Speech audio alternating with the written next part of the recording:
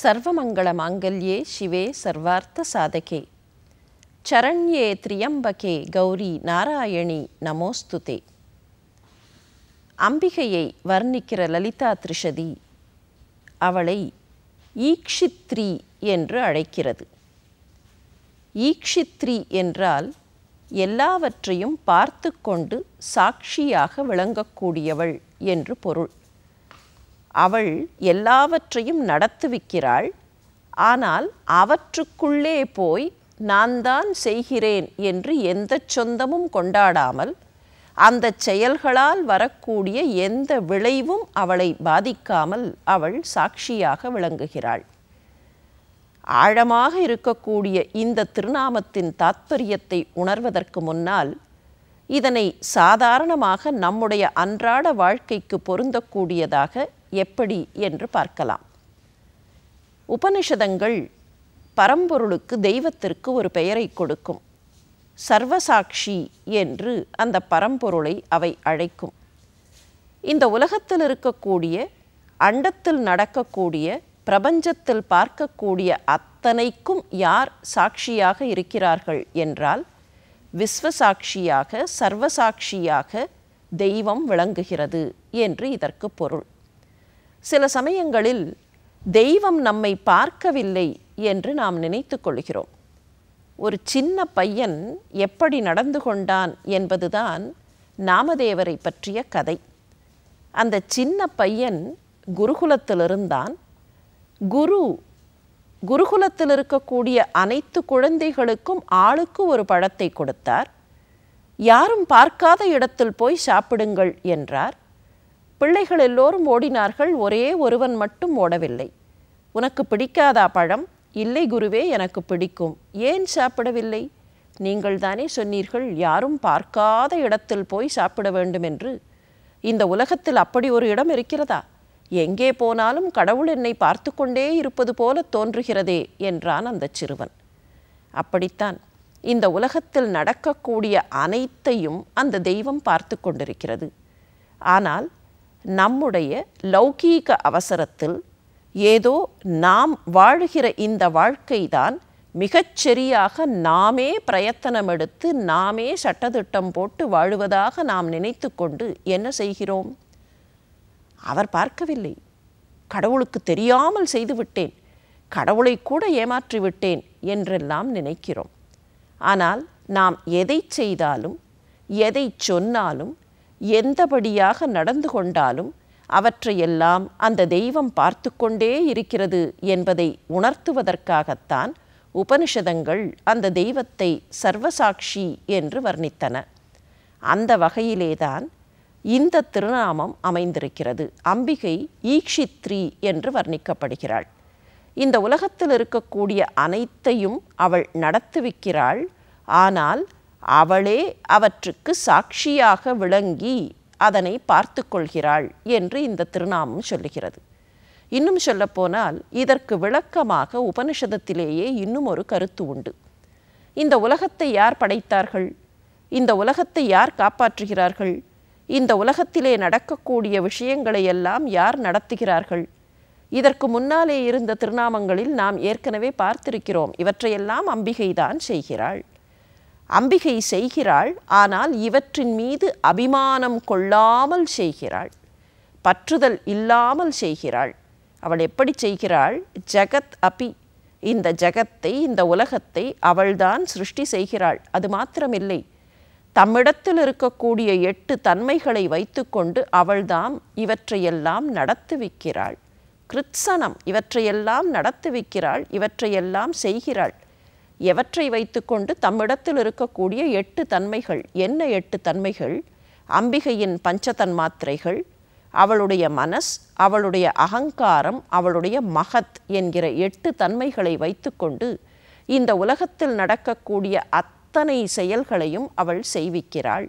ஆனால் ந அபிமானக எந்த வகையான அபிமானமும் ஒட்டுதலும் பற்றுதலும் இல்லாமல் செய்கிறாள். கிருஷ்ணர் எப்படி நடந்து கொண்டார் என்பதை நினைத்து பார்த்தால் இவை நமக்கு புரியும். கிருஷ்ணர் குருக்ஷேத்திர போர்க்களத்தில் நின்றார். சொல்லப்போனால் பாண்டவர்களின் பக்கம் இருந்தார். அவராக பாண்டவர்களை தேர்ந்தெடுக்கவில்லை. ஒரு வாய்ப்பு கொடுத்தார்.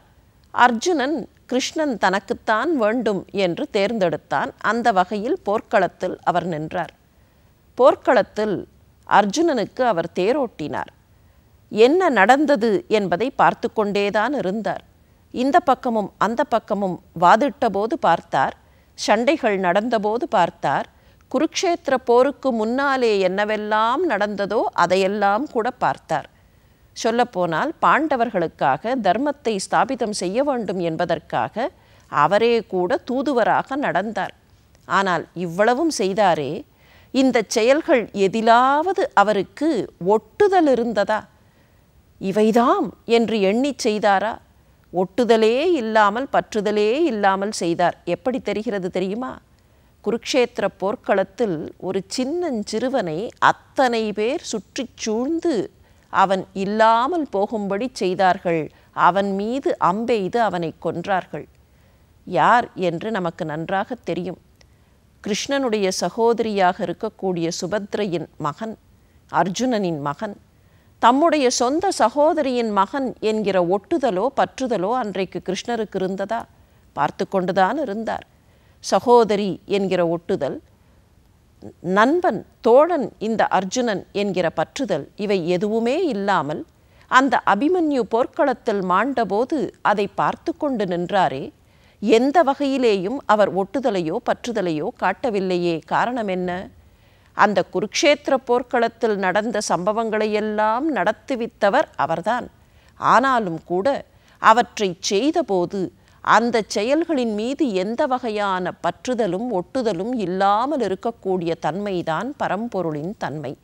அதே போலத்தான் இந்த ஜகத் காரியத்தை சிருஷ்டி செய்யக்கூடிய அம்பிகை இந்த ஜகத்காரியத்தை நடத்தக்கூடிய அம்பிகை இந்த ஜகத்காரியத்திற்கு ஆதாரமாக இருக்கக்கூடிய அம்பிகை இந்த காரியங்களுக்குள்ளே எல்லாம் தம்மை ஈடுபடுத்தி கொள்ளாமல் அவற்றிலே இருந்து அபிமானம் இல்லாமல் ஒதுங்கி சாட்சியாக விளங்குகிறாள்.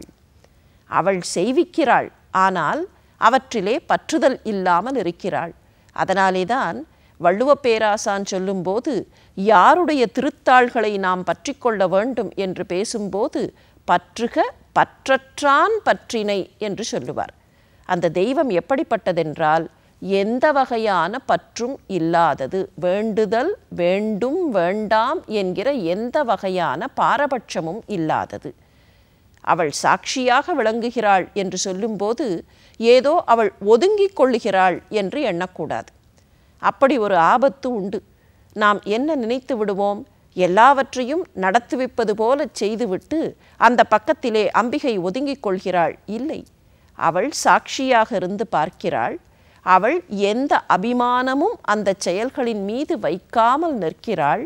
அதற்கு என்ன காரணம் என்றால் நாம் எப்படியெல்லாம் நடந்து கொள்கிறோம் என்பதை பார்க்கக்கூடியவள் அந்த செயல்களின் மீது பற்றுதலோ ஒட்டுதலோ இல்லாமல் இருப்பது நாம் எப்படி நடக்க வேண்டும் என்பதை நமக்கு காட்டுவதற்காக. கிருஷ்ண பரமாத்மா தான் அர்ஜுனனுக்கு உபதேசம் செய்தபோது அதே குருக்ஷேத்திர போர்க்களத்தில் கீதையில் சொன்னார். என்ன சொன்னார் என்பதை நாம் எல்லோரும் பரவலாக அறிந்திருக்கிறோம். கடமையை செய் பலனை எதிர்பாராதே என்று அவர் சொன்னார் என்று சொல்லுகிறோம். இதற்கு என்ன பொருள்? கடமையை செய்யும்போது நான் இதை செய்தால் எனக்கு இந்த பலன் கிடைக்கும் என்கிற எண்ணத்தோடு எதிர்பார்ப்போடு செய்வது சரியில்லை. When you do something you do not have டூவர்ஷிப் என்பதுதான் அதனுடைய பொருள். நான் இதை செய்கிறேன். இது என்ன நடக்கும்? நான் ஒரு செயலை செய்கிறேன். அப்படி செய்யும்போது இதை செய்வதனால் எனக்கு கிடைக்கக்கூடிய நன்மை என்று பார்த்து செய்யலாம். இதுவே இன்னும் எப்படி மாறும் என்றால் நான் சிலவற்றை செய்ய மாட்டேன். ஏன் தெரியுமா? எனக்கு இதனால் நல்ல பலன் கிடைக்காது. எனவே தீமையை செய்ய மாட்டேன் என்று ஒதுங்கிக் கொண்டால் பரவாயில்லை. இது இன்னும் விரிவாகும். எப்படி? இதை செய்வதனால் எனக்கு எந்த லாபமும் கிடையாது. எனவே நான் செய்ய மாட்டேன். கடமையை செய்யும்போது எனக்கு இதனால் லாபம் கிடையாது. எனக்கு இதனால் எந்த வகையான கூடுதல் பலனும் கிடையாது. எனவே நான் செய்ய மாட்டேன் என்று நாம் ஒதுங்கிக் கொள்ளக்கூடிய வாய்ப்பு உண்டு. அதனாலே தான் கடமையை செய்யும்போது ஸ்வதர்மத்தை செய்யும்போது எந்த பலனையும் எதிர்பார்க்காதே என்று அவர் குறிப்பிட்டார். பலன் என்றால் ரிவார்ட் என்று மாத்திரம் பொருள் அல்ல. எந்த பலனாக வேண்டுமானாலும் எந்த கான்சிக்வன்ஸாக வேண்டுமானாலும் அது இருக்கலாம். ஒரு செயலை செய்யும்போது இதனால் எனக்கு கிடைக்கக்கூடிய லாப நஷ்ட கணக்கு என்று பார்த்து செய்தால் அந்த செயலால் நமக்கு எப்படியும் பிறவி விளைந்து கொண்டேதான் இருக்குமே தவிர பரம்பொருளின் பரம கருணை முழுமையாக கிடைக்காது என்பதை உணர்ந்து கொள்ள வேண்டும். அதற்காகத்தான் தெய்வம் அந்த உபதேசத்தை போர்க்களத்தில் அர்ஜுனனுக்கு கொடுத்தது. அதே தெய்வம் எப்படி இருக்கிறது? பற்றுதலோ ஒட்டுதலோ இல்லாமல் இருக்கிறது. கடவுளுக்கு இவர்கள் வேண்டப்பட்டவர்கள் இவர்கள் வேண்டப்படாதவர்கள் என்கிற பாரபட்சம் எதுவும் கிடையாது. பல நேரங்களில் நாம் உண்மையே புரியாமல் தெய்வத்திடம் கேட்கிறோம். எனக்கு மாத்திரம் நீ கண்ணை திறக்கவில்லையே என்று சொல்லுகிறோம். அப்படியானால் என்ன பொருள்? எனக்கு மாத்திரம் நீ கண்ணை திறக்கவில்லை வேறு யாருக்கோ நீ ஏதோ நிறைய கொடுத்திருக்கிறாய் என்று பொருள் ஆகிவிடும் தெய்வம் அப்படிப்பட்ட பாரபட்சத்தை எல்லாம் காட்டுவதில்லை. தெய்வத்திற்கு வேண்டியவர்கள் வேண்டப்படாதவர்கள் என்கிற எந்த பாரபட்சமும் கிடையாது. அதனாலே தான் வள்ளுவர் மிக தெளிவாக சொன்னார் வேண்டுதல் வேண்டாமை என்கிற எந்த தன்மையும் அந்த தெய்வத்திற்கு இல்லை. அப்படி பாரபட்சம் இல்லாமல் இருக்கக்கூடிய தெய்வம் பார்த்து கொண்டே இருக்கிறது எல்லாவற்றையும் பார்க்கிறது. நாம் செய்கிற செயல்களை பார்க்கிறது நாம் எப்படி நடந்து கொள்கிறோம் என்று பார்க்கிறது சில சமயங்களில் தெய்வத்தை நாம் போற்றுகிறோம் அதையும் பார்க்கிறது சில சமயங்களில் தெய்வத்தை தூற்றுகிறோம் அதையும் பார்க்கிறது. ஆனால் எந்த செயலிலேயும் ஒட்டுதல் இல்லாமல் எல்லாவற்றையும் அது செய்விக்கிறது. சீதா பிராட்டியார் அசோகவனத்தில் அமர்ந்திருந்தார். அப்போது அங்கே போன ஆஞ்சநேயர் கேட்டார் அம்மா உன்னை கொண்டு போய் உடனடியாக ராமரிடத்தில் விட்டு விடுகிறேன் என்னுடைய தோளில் ஏறிக்கொள் என்று. அப்போது சீதா பிராட்டியார் சொன்னார் நான் இங்கே உட்கார்ந்திருக்கிறேன் என்பதனால் என்னால் இந்த இலங்கையை அழிக்க முடியாது என்று நினைத்தாயா? நான் நினைத்திருந்தால் இந்த இலங்கையை ஒரு சொல்லால் சுட்டிருப்பேன் ஆனால் ஏன் சுடவில்லை தெரியுமா? ராமச்சந்திரமூர்த்தி வந்து என்னை காப்பாற்ற வேண்டும் என்பதனால் இந்த இலங்கையை நான் என்னுடைய சொந்த ஆற்றலால் சுடாமல் இருக்கிறேன் என்று குறிப்பிட்டார். தெய்வம் அப்படித்தான் இருக்கும். தன்னிடத்தில் இருக்கக்கூடிய ஆற்றலால் எல்லாவற்றையும் நடத்துவிக்கிற தெய்வம் எல்லாவற்றையும் பார்த்து கொண்டு எதன் மீதும் அதீதமாக ஒட்டுதல் வைக்காமல் இது என்னுடையது என்கிற பற்றுதல் வைக்காமல் எல்லாவற்றையும் கருணையோடு நோக்கிக் கொண்டிருக்கிறது. சர்வ சாட்சியாக அந்த தெய்வம் விளங்குகிறது. இது தெய்வத்தின் நிலை இது பராசக்தியின் நிலை. ஆனால் இந்த நிலையிலே இருந்து சராசரி மனிதர்களாக அந்த பராசக்தியின் பக்தர்களாக இருக்கக்கூடிய நாம் எதை புரிந்து கொள்ள வேண்டும் என்றால் இரண்டு விஷயங்களை. ஒன்று தெய்வம் எல்லாவற்றையும் பார்க்கிறது. எனவே தெய்வத்தை ஏமாற்றிவிட முடியும் என்று நினைத்தால் அது நடக்காது. இரண்டாவது எப்படி தெய்வமே அபிமானம் வைக்காமல் எல்லாவற்றையும் நடத்துவிக்கிறதோ அப்படித்தான் நாமும் நம்முடைய தர்மத்தை செய்யும்போது நம்முடைய கடமையை செய்யும்போது இந்த கடமையால் இந்த தர்மத்தால் எனக்கு லாபம் கிடைக்குமா என்றெல்லாம் லாப நஷ்ட கணக்கு பார்க்காமல் செய்ய வேண்டிய செயலை பற்றுதல் இல்லாமல் ஒட்டுதல் இல்லாமல் விருப்பு வெறுப்பு இல்லாமல் செய்வோம் என்றால் அது நம்முடைய வாழ்க்கைக்கு நல்ல பயனை தரும். இந்த இரண்டு விஷயங்களை நமக்கு சொல்லிக் கொடுப்பதற்காக அந்த பராசக்தி ஈக்ஷித்ரியாக இருக்கிறாள்.